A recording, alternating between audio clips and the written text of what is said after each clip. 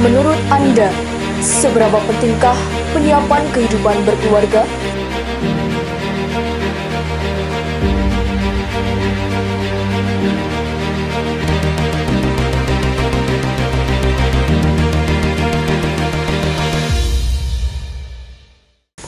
Saya Anggita Valentina, Pik Remaja Abipraya Anoraga. Saya dilahirkan di daerah pegunungan, tepatnya di Dusun Pucumroto, Desa Pandanretno, Kecamatan Kajuran, Kabupaten Magelang. Menjadi seorang anak yang terlahir di lereng kaki Gunung Sumbing membuat saya sangat berbangga diri. Limpahan kekayaan alam berupa tanah yang subur tentunya merupakan anugerah luar biasa yang diberikan oleh Tuhan. Akan tetapi, hal itu sangatlah bertolak belakang ketika saya melihat banyaknya anak di bawah usia 21 tahun yang sudah mengenal pergaulan bebas hingga pernikahan usia dini. Tentunya hal ini mengakibatkan terjadinya kelahiran bayi dengan berat badan lahir rendah. Di Kabupaten Magelang sampai dengan Agustus 2020, sebanyak 1069 perempuan menikah di usia 16 sampai 21 tahun sedangkan sebanyak 154 perempuan menikah di bawah usia 16 tahun. Kemudian berdasarkan hasil dari riset kesehatan dasar, sampai dengan Oktober 2020 angka stunting di Kabupaten Magelang berada di kisaran 21,39 persen.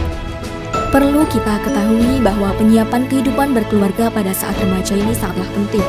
Tentunya dengan memaksimalkan peran remaja agar bisa menjadi remaja yang sehat, cerdas, berkualitas, berperadaban unggul, serta menjadi remaja yang terhindar dari teriak KRR.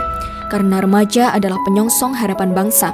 Pendewasaan usia perkawinan dan pemenuhan gizi remaja menjadi kunci utama agar remaja bisa memaksimalkan perannya untuk kehidupan mendatang. Sebagai pendidik dan konselor sebaya membuat saya berkesempatan untuk memahami apa saja yang dibutuhkan oleh remaja. Di sini, saya bersama dengan teman-teman PIK Remaja Abipraya Anoraga ikut serta dalam membantu pemerintah daerah untuk menekan terjadinya pernikahan dini dan juga mencegah kelahiran bayi stunting. Oleh karena itu, saya, Anggita Valentina, PIK Remaja Abipraya Anoraga, menciptakan suatu program inovasi yaitu Sadar Aksi, Advokasi, Komunikasi, Sosialisasi, dan Informasi dengan program tersebut, diharapkan nantinya mereka mampu mengaplikasikan 5 masa transisi kehidupan remaja atau Five Life Transition yang merupakan indikator dalam rangka menuju Indonesian Golden Generation sehingga nantinya tercipta kehidupan berkeluarga yang berkualitas. Dan dengan program Stop Nikah Muda, diharapkan remaja nantinya bisa menunda pernikahan sampai dengan usia minimal 21 tahun agar nantinya tercipta nikah yang keren dan terhindar dari kelahiran bayi stunting. Salam genre, salam remaja genre, sehat, cerdas,